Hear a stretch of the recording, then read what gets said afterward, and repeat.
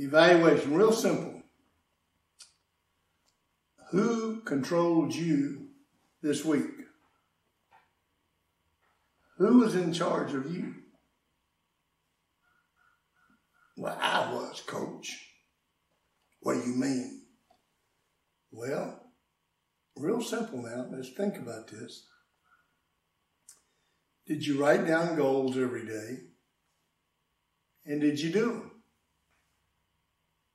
If you said yes, then I agree completely. You were in control of you. Now, if you said, no, I didn't get those done, it was, uh, it rained this week, or I can't get those done in Idabel, or I, you know how my parents are, or you know how my boss is, or it's somebody else's fault. Well, when when you write down why you didn't get something done, don't ever use somebody else as a scapegoat. See, there's an old there's an old saying that, uh, and I can't quote it for you. I probably should have looked it up.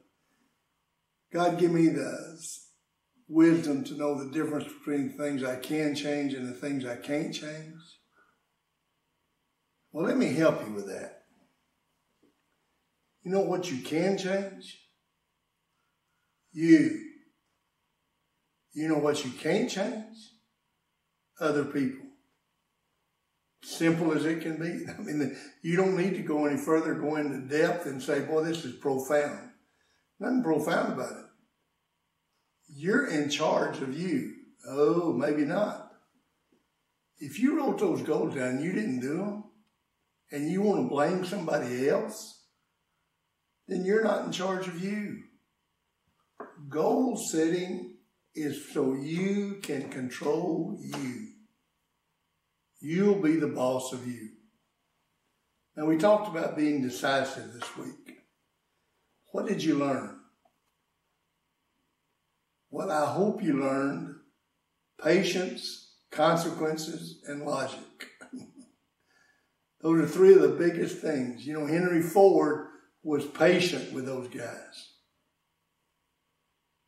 And then he realized the consequences, he wasn't going to get it done. And his logic was, we're going to build a V8. The personalities, those three personalities we just talked about. The farmers that moved, they lacked patience. They didn't think about the consequences.